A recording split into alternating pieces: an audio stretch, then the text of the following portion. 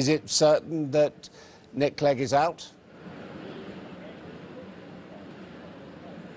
Well, it's not certain just yet, but there could well be an upset here in Sheffield. Nick Clegg, the former Deputy Prime Minister, former leader of the Liberal Democrats, he could lose his seat in Sheffield Hallam. And that's because I have been hearing rumours, and they are only rumours at this stage, that the counting over there is level pegging. However, a lot of votes have been going between the Conservatives and Labour.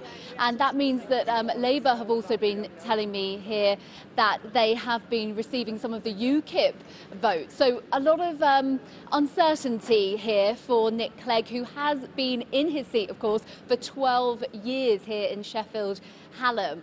Uh, the rumours, when I put those two Liberal Democrat candidates, they told me that they couldn't, uh, they couldn't deny the fact that his seat is in peril, basically. So, not certain that Nick Clegg will be back. Thank you very much indeed, uh, Louisa Pilbeam, joining us from uh, Sheffield there.